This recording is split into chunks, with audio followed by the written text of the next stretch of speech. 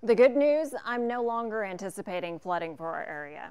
The bad news, the rainfall totals just keep getting lower and lower. I just looked at the latest computer models, not great. Some areas may be hard pressed to even get a half of an inch in our area as the heaviest rain stays to the south. Potential tropical cyclone number one, still there in the Gulf of Mexico, has not yet been upgraded to Tropical Storm Alberto. If it is, it would happen sometime tomorrow. The storm is about 600 miles away from us.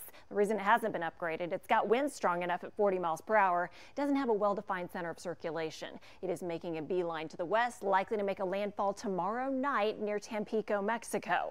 Meanwhile, here in central Texas, well, technically you've got a flood watch for Caldwell and Fayette counties, points to the south, but points to the south look like they will be the big winners in the rainfall department unlike us. I will tell you there's also a very outside chance a level 1 of 5 severe threat that does include portions of Caldwell, Bastrop, Lee, and Fayette counties points south for maybe an isolated spin-up tornado. Here's your forecast. I know you're going to see these big rain icons and think this is great. I do think temperatures will only top out around 83, but I also think that the heavy rain is going to stay to our south. And even these half inch to one inch totals might be a little on the high end for us. Farther south, still a potential of seeing 5 to 10 plus inches in areas that do need it. So we'll root for those folks. For us, yeah, not looking great. Hour by hour. Tomorrow, by about lunchtime, we're going to start to see round number one of rain pushing through, getting a little heavier around 4 o'clock.